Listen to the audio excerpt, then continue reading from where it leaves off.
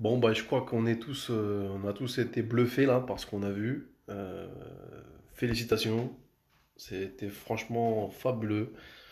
Oubliez Paris, oubliez Cannes, oubliez Los Angeles, oubliez New York. Euh, c'est à Grenoble qu'il y a les talents. Il y a eu de la poésie, ça nous a touchés. Vous avez pensé nos âmes.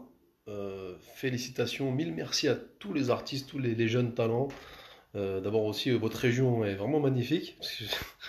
Franchement, vous ouvrez la fenêtre, euh, vous voyez des vrais trucs. hein. Nous, on ouvre la fenêtre, euh, on voit le périph'.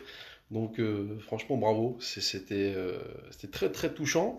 Il y avait vraiment des idées de mise en scène, des, idées techniques, d'écriture très, très fortes. Je crois qu'on a tous été un peu secoués. Ça nous a rappelé plein de choses. On est content demain de déconfiner. Vraiment, félicitations. Mille merci. On vous applaudit tous de chez nous. Et prenez soin de vous, prenez soin de vous, et on se retrouve pour la sixième édition d'Émergence.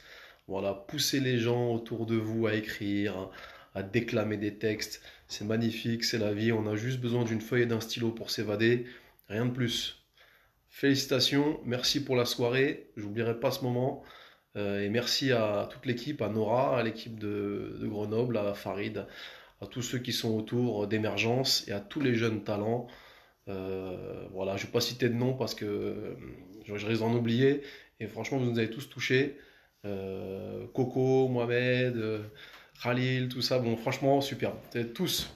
Lilian, Adrien, je ne peux pas citer tout le monde. C'était vraiment, j'ai passé un moment exquis avec ma femme, mes enfants. Franchement, c'était, c'était super. Félicitations. Prenez soin de vous et de vos familles et de vos proches. Voilà, sortez masqués et on se retrouve très bientôt et pour une prochaine soirée d'émergence.